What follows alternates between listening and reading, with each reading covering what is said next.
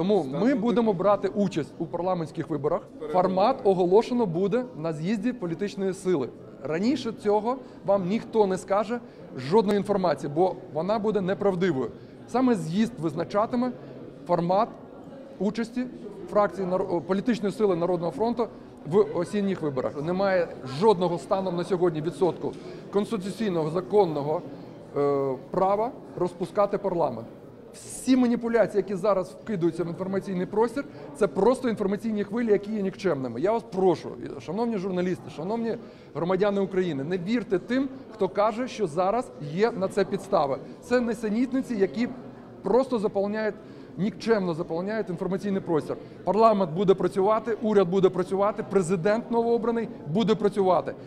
Ані зовнішні вороги, ані внутрішні вороги не зможуть зруйнувати консолідованої роботи української влади задля реалізації тієї програми, з якою ми зайшли в парламент.